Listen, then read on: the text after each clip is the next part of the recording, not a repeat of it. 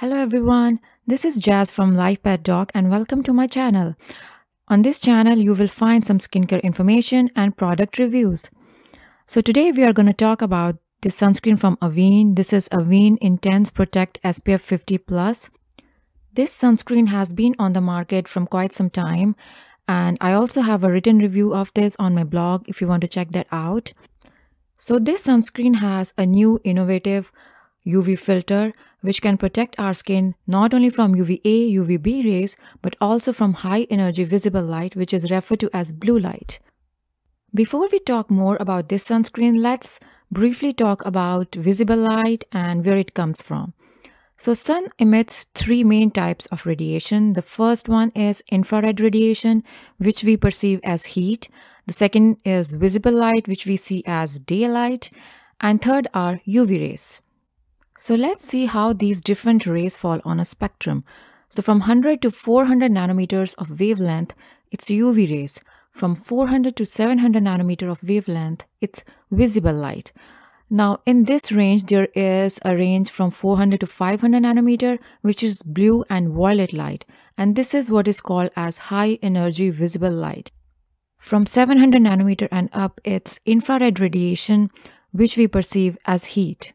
So UVB rays mainly affect the top layer of the skin, which is called as epidermis. It can cause sunburn, direct DNA damage, and skin cancers.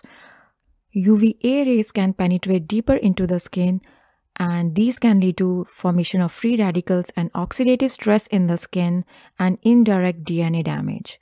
High energy visible light can penetrate even deeper into the dermis and can affect hypodermis as well. And this can lead to formation of free radicals, oxidative stress in the skin, erythema or redness, premature aging, and hyperpigmentation. Now, high energy visible light can lead to sustained hyperpigmentation, meaning it takes a lot longer to fade as compared to hyperpigmentation caused by UV rays. This is especially seen in people with darker skin tones or Fitzpatrick type 4 to 6 uh, types. So now let's move on to the most important aspect of a sunscreen and that's the ingredients.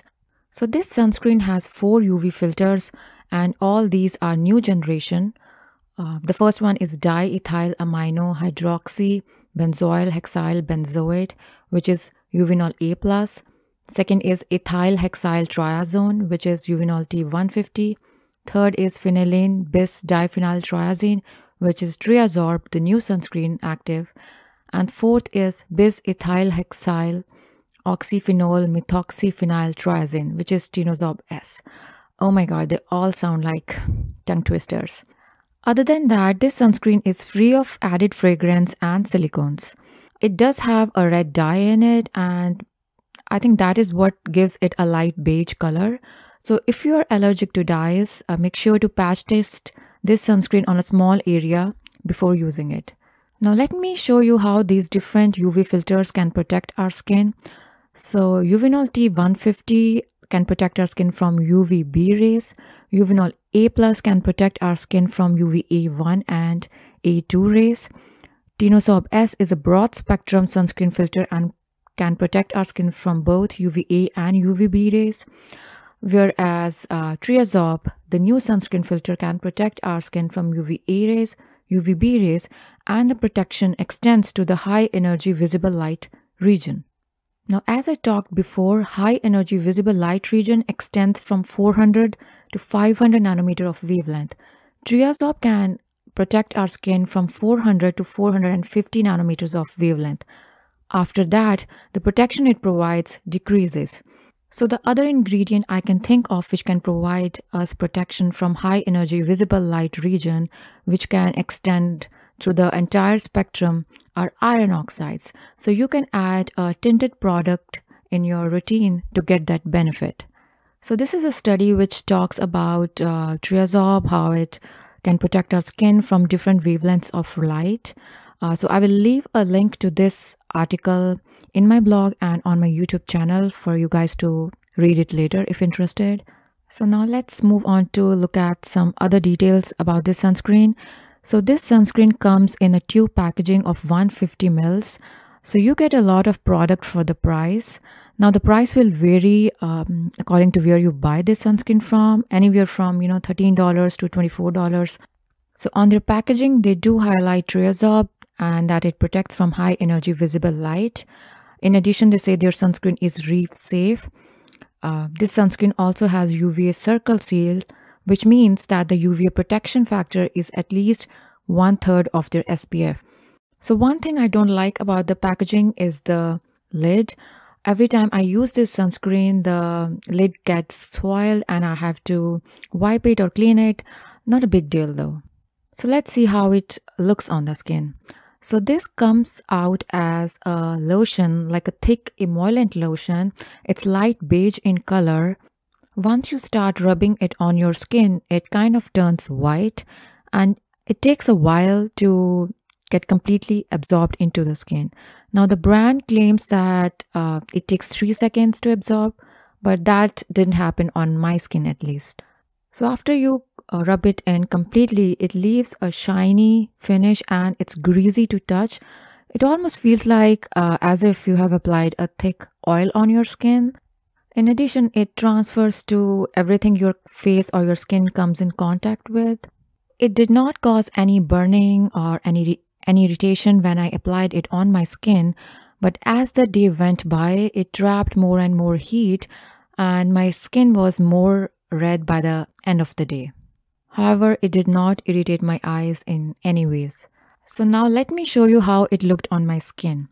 So in this picture, you can see um, on one half of my face, I have the sunscreen on and on the other half, there is no sunscreen.